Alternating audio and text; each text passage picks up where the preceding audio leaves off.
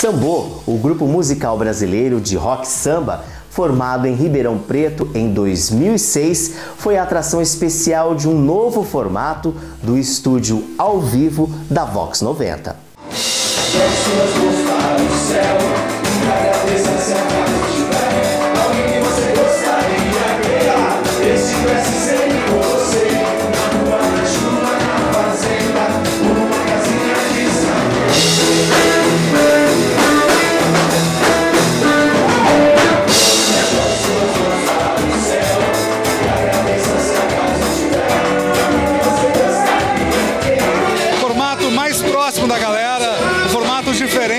Vox 90 sempre experimenta, né?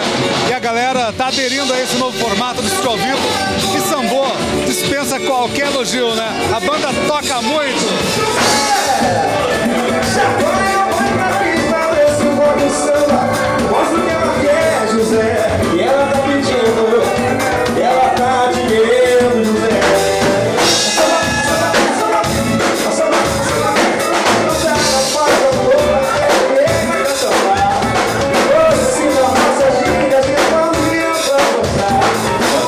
Intenção, Wagner, realmente é essa, é chegar o artista, a rádio mais próximo do povo, né? Do ouvinte. E testamos esse formato. Ficou muito legal, a gente gostou demais.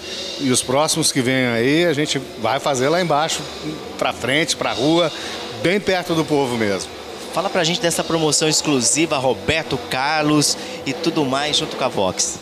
Pois é, a gente tem essa parceria já com o escritório do Roberto Carlos há alguns anos. Há quatro, cinco anos atrás ele esteve aqui no Expo América, né? A Vox que fez a promoção exclusiva na região também. E agora na volta dele em Campinas, depois de 11 anos, a Vox novamente foi escolhida pelo escritório do Rei para poder fazer a promoção aqui na região. E você é nosso convidado, viu? Você vai ver o show. Estaremos lá. E agora sim, a gente sabe que tem muitas novidades para esse semestre e essa é só uma delas, né?